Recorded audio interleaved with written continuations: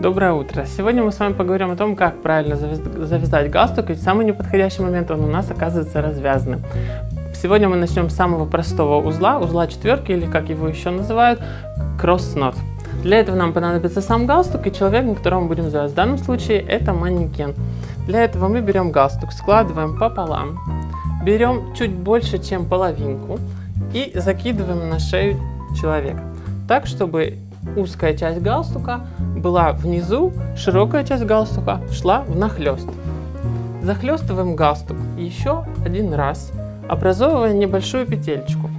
Галстук поднимаем наверх и опускаем в нашу петельку, образовавшуюся ранее. Протягиваем сам галстук, подтягиваем и получаем вот такую картинку. Для того, чтобы э, галстук выглядел хорошо и не выглядывала нижняя часть, зачастую здесь есть в галстуках петельки.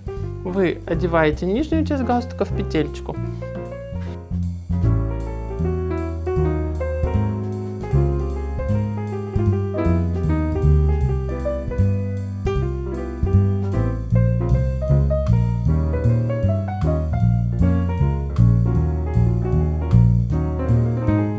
Главное запомнить, что по этикету положено, чтобы галстук заканчивался на уровне пояса ваших брюк. Если вы используете зажим для галстука, то он должен застегиваться между третьей и четвертой пуговицей и никогда не должен быть больше, чем ширина галстука. Надеюсь, наш совет вам помогут. И помните, что джентльмен всегда остается джентльменом в любой ситуации.